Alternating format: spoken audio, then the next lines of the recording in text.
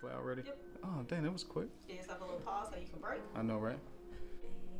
And take three. Take three? Let's take three already? Yep. What is going on, guys? Welcome back to the channel. Welcome to the year of 2021. Hey, I am so very excited, man, to be dropping my first video of 2021, to be producing this content to you guys. Y'all know that I'm a sneakerhead. You know, I've been building this collection of mine, and 2020 was actually, you know, despite everything that was going on with the Rona, 2020 was good to me with the sneaker buying. But anyway, like I said, uh, today's video, I'm bringing you guys some heat. This is my first hype shoe. like, oh, say less. Y'all know really I don't go out to hype things, but things are a little different now.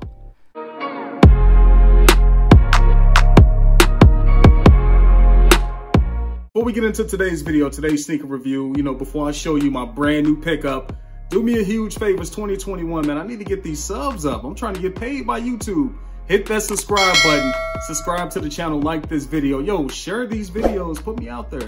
You know, I'm up and coming. So it's a sneaker collection, you know. Like I said before, listen, it doesn't cost any money to subscribe. I'm not charging you. It's free. Help a brother out, all right? Let's get to the sneaker. So one of the very first things I want to point out, I don't know if you guys have noticed, if you guys have purchased anything from Nike recently, but I noticed that Nike has changed the packaging. They no longer come with that Nike tape that goes across the middle that just screams, steal me to the UPS guys, to FedEx workers, USPS, whoever delivers these packages. And you know what?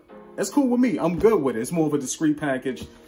So I guess that's their way of combating the packages being stolen, okay? So coming out the box, yeah, y'all see it. Y'all see that multicolored box. Top of the box reads Nike SB. You know, now I would say this, this is my first pair of dunks. And with this sneaker, I actually, I kind of went, went for the sneaker without intentions on buying it.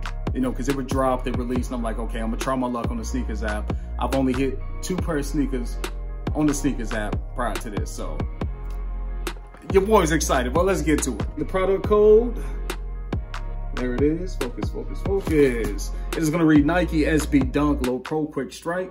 The colors are metallic copper, and this is a US size 11 retail for $110.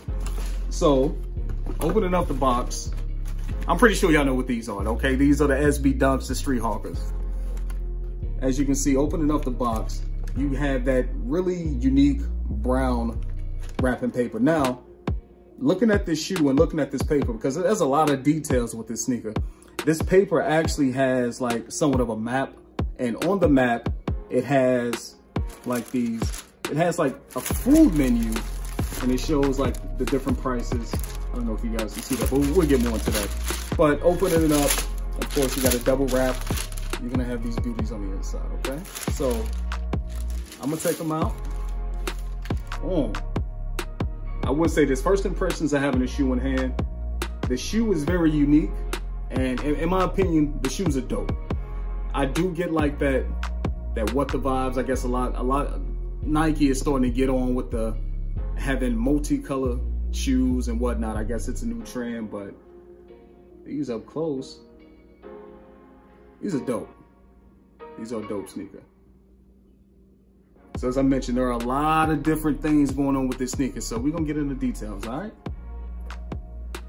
These released back on January the 22nd, 2021 of this year, at retail for $110. Now, this was a collaboration that Nike did with a artist in China. Uh, name is Jason Ding, I believe is his name. Forgive me if I'm if I'm mispronouncing the last name.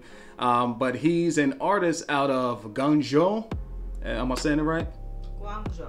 Guangzhou, Guangzhou, China. Very unique design to these sneakers. They they draw inspiration from the Chinese food culture, and these shoes were designed to pay homage to like the street food vendors, Chinese culinary, you know, etc. As we know, I'm from St. Louis. St. Louis has some of the best Chinese food in the U.S. Left shoe, as you can see right off the back, the left shoe in comparison to the right shoe is gonna have more. You're gonna have more lighter colors, more of like that beige color, and th those lighter beige colors are supposed to represent like the three flour based dishes. Now, as you can see on the mid panel of the lateral side, you're gonna have like an embossed suede and on that suede is supposed to represent like the pita bread pieces that they use for a traditional di- dish by the name of Zaijian dish. And basically, it's pita bread soaked in mutton soup. Now, continuing on that same lateral side, you're gonna see like these donut shaped patterns. And the donut shaped patterns are supposed to be these, I guess, little side items called jiaoquin.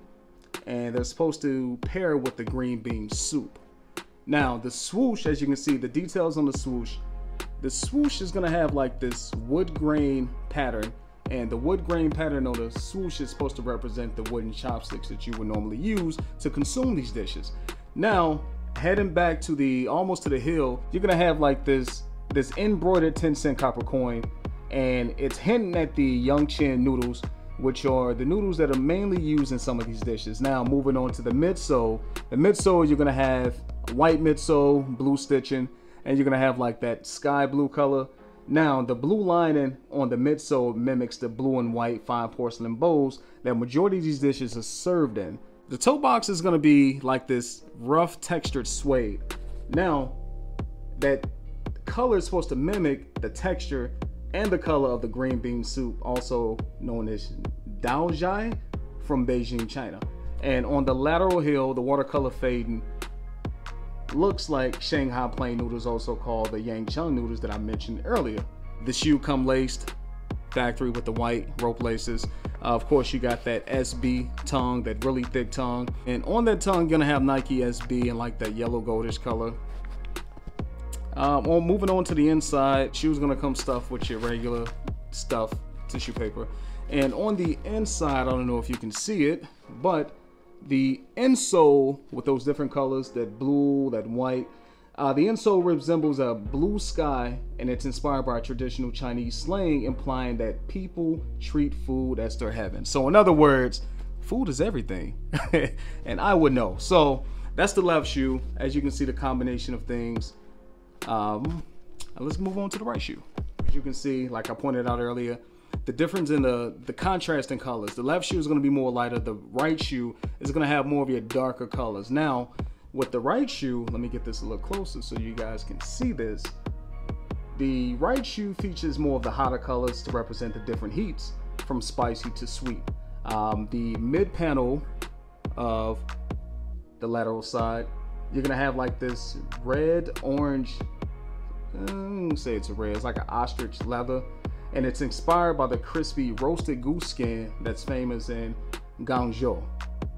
Now, the silver swoosh on the sneaker, the silver ah, the silver swoosh is supposed to resemble the metal hook used to hang the roast goose. Now, the flame and the lychee wood used to roast the goose, it appears in a watercolor pattern around the eyelets. So if you take a look, you will see like the multicolors up top like I said, it's, it's a lot going on with this shoe, man, and I dig the concept behind it. But moving on to the toe box, as you can see, the toe box is gonna be like a metallic bronze color. And that color is pulled from the Chengdu hotpots in which dishes are cooked. So around the toe box, you have like them different colors, like the red, the oranges, the yellow. That's supposed to represent like the ball and chili oil treatments bubbling around the toe box. So, of course, Going back to the lateral side, the midsole, you're gonna have your white, midsole, white stitching, and also you're gonna have the yellow at the bottom. Now the yellow outsole represents the cooking oils that they would use to prepare these dishes in. So moving on to the heel of the shoe. Uh, the heel of the shoe, um, the concept is supposed to be like shaved ice and taro balls, and it's a common Taipei, Taipei dessert. It can be found on the heel of the shoe. So you can have like that sky blue color like uh, greenish, purplish, a lot of different colors going on. Now moving on to the insole, as you can see it, you're gonna have like those different colors, brown, tan, red, and the insole paints a scene of a bench terrace, and it's mainly a landscaping method used to grow rice paddles, rice paddies. You're gonna have your black mesh Nike SB tongue, real thick like every Nike SB dunk. You're gonna have Nike SB the red stitching. Uh, now this shoe does come factory lace with the black lace. Also one thing I do want to point out that the sock lining is supposed to reflect on the color of meat dishes that are normally used with these dishes. So A couple more things to point out about the shoe or the shoelaces. Now, you're gonna have the white laces in the left shoe, the black laces in the right shoe, and it's gonna compare with some green and like tan laces. Now, the green laces are supposed to represent the shallots that they use in the cuisines. The yellow or the um, I wouldn't want, wouldn't want to say yellow. Let's say beige, tan laces. Supposed to represent ginger, same color as ginger.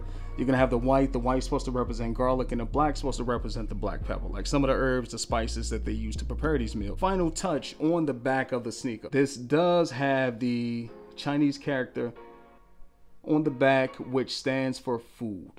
Um, left side is gonna come in the white stitching, and the right shoe is gonna be the black stitching. So as I mentioned, both of these shoes have a lot going on. This is a dope concept, in my opinion. I'm liking the shoes. I'm glad I got a W. So these are it, man. I'm looking forward to probably putting these joints on feet. You know, I'm gonna have to run it by my fiance first to see if she want me to sell them because the resale is crazy. But we're gonna have another look at it. Take a look at the left one.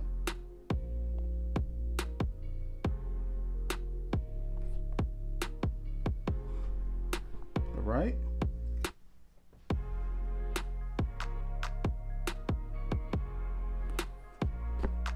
There you have it. All right, guys, yo, so hey, like I said, I appreciate you guys tuning in to this video, this review. As y'all can see, man, I'm super excited about having these shoes in hand. Hey, do me a favor, subscribe to, ah, do me a favor, subscribe to the channel, like this video, drop a comment down below, let me know what you think. And as always, I'm gonna see you on the next come up. We out.